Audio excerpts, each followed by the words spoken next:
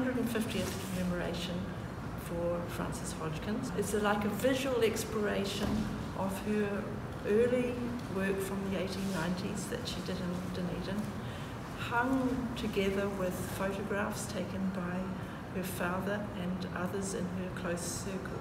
And in particular, it contains the um, photographs of the Karetai family that they took in 1893.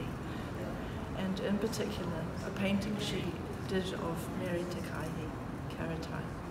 And the unique photographs in this little album, which offer absolute proof and a rare opportunity for us to compare the painting with a unique photograph. This is my grandmother, uh, where she lived at the uh, heads in Taiaroa Head.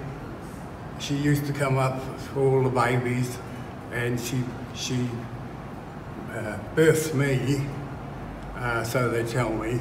There, was 14 in the family, kids like. Uh, anyone that came wanted to be birthed, she came to, from Bluff and did it.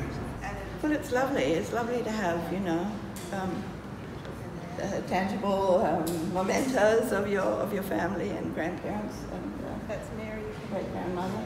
Yeah, Mary. A lot of credit to the Hocken for preserving so many of our our um, treasures. So it's wonderful. I just am sorry in a way that my mother's not here to see it.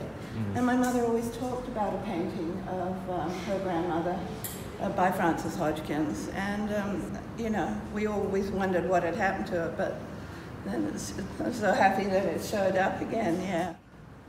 What I hope is for people to come in and use their imaginations and see. We know that she worked from photographs at times, um, but just see how the subject matter, the the forms, the lines, how that she may have drawn on those photographs um, with her painting.